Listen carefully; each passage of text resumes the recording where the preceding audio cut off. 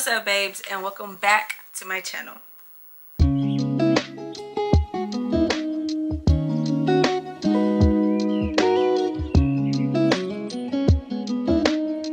As y'all can tell in the title we are going to be getting into five micro habits that we are using to shift our mindset. If you've been following along i've been on a glow up journey this summer and we have all actually been on a glow up journey okay? And these tips are something that we're going to implement into our situation in order to become our better selves within the next three months. If you are new to my channel i hope that you find this video to be informative.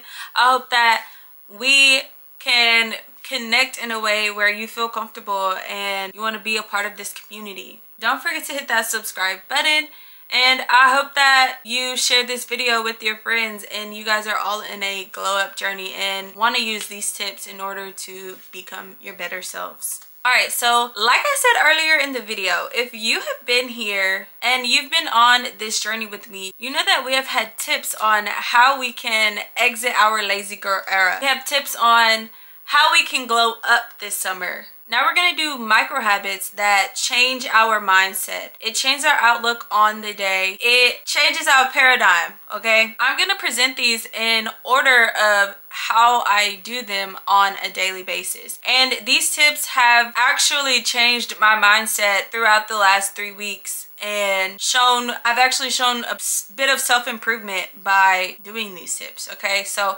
I hope that you guys implement them into your journeys okay? So we are gonna get started and the first one is gonna be meditation and prayer okay? I don't really meditate so much but I am somebody that uses prayer with anything. That's with talking to God and telling him how my day is going in my car or I'm praying for my family, myself, my relationships, my boyfriend, like anything or simple in the mornings every single day and I've said this in one of my other videos you're thanking God for waking you up. I think these are so important. I think this one in particular is so important because it keeps you grounded in your foundation, in your faith. And you might not believe in God and that's okay. You're gonna believe in what you wanna believe in. So I think if you meditate, take that time, no matter how long it is, just set aside time to meditate. The next one is going to be writing down your affirmations and that can be written down anywhere. You can actually just say it out loud to yourself. I like to write them down in my journal as I am journaling. As you guys know, I've been on a journaling journey and this is something that I implement every single time that I open my journal, regardless of if it's in the morning or if it's in the afternoon.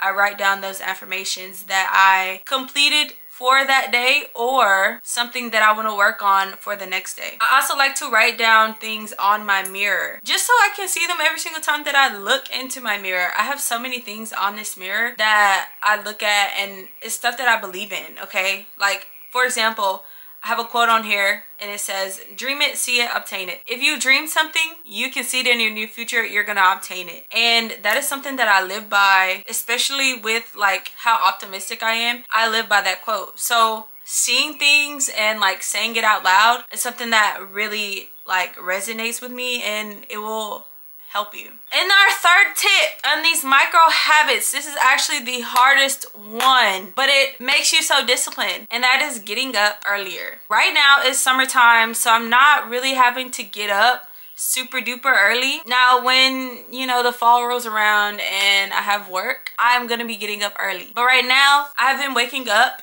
at 6 or 6.30. I'm actually going to put out a video of me waking up at 6 a.m. It might be out already before y'all, whenever you guys see this video. But I woke up at 6 a.m. for a week and that was actually so hard for me because norm like I've been waking up at 6:30. Well, then I tried to do 6 a.m. and you'll see in the video how hard it was, okay? I put that on this list to say you get more things done out of your day by waking up sooner. I'm not just talking about like working out. I'm talking about like you're able to write in your journal. You're able to get a workout in if that's what you do. You're able to cook yourself breakfast in the morning. You're not rushing to go to work. Really, you're not rushing to do anything in the morning. If you go to work at 9, 6.30 is a very good time for you to be getting up in the mornings just to get simple tasks done around the house. This one resonates with me so much simply just because like this is the type of energy that I am wanting to put out. So in order for me to stay disciplined and within myself, I am genuinely trying to get up earlier each day and each week. Our next one is gonna be super quick and this is something that has helped me on this journey as well. I have been listening to self-worth and self-confidence podcast and literally it is just a bunch of women talking in my ears or in my car at home about how much they believe in themselves in their job in any relationship that they're in how much they value their peace and protect their peace or how they see different relationships going or like anything. I feel like implementing the podcast into your self-growth journey will help you out so much. You guys we hear a lot of negative we put up we hear a lot of negatives in the world right now okay? That's within music politics reality tv whatever listening to things that are positive actually uplifts you so much and i preach this in every single video that i've put out i've kind of said the same thing about podcasts it's very consistent and that's because this one I wholeheartedly believe in so much. You implementing this into your daily life will change your mindset about yourself. It will change your mindset about work. It'll change your mindset about the type of work ethic that you want to put out the type of positive vibes that you want to put out into the world. So I recommend doing this so much. Like if you don't do nothing else, listen to the podcast first and then maybe you'll get motivation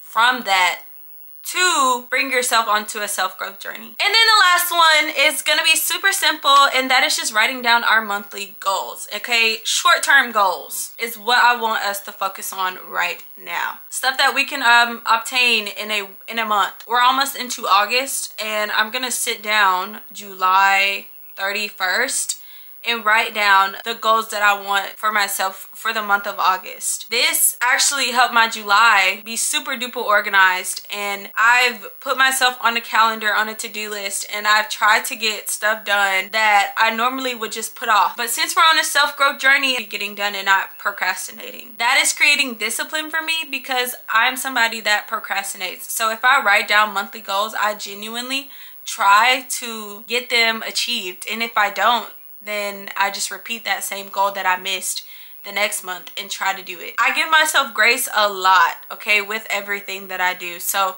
don't think of this as like a chore that you have to do or the goals are like things that you have to get done. Like it might take you three months to grow 100,000 subscribers on YouTube. Like it might take you a year to do that. So do not beat yourself up because you don't have 100,000 subscribers on YouTube. But still keep that same goal and work towards that. Alright you guys, that is it for this video. Those are five micro habits that I use daily in order to change my mindset. These micro habits have actually changed my mindset literally within a few days. And that is something that I honestly did not think could happen. It has helped me grow and think about things differently. Rather than complaining about getting up at 6 a.m., I'm choosing to get up at 6 a.m.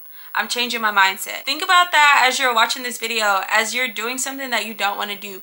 You're choosing to do that so you can become better. Don't forget to hit that subscribe buttons and let's have some conversations in the comments, guys, okay? I will see you guys in my next one. Peace.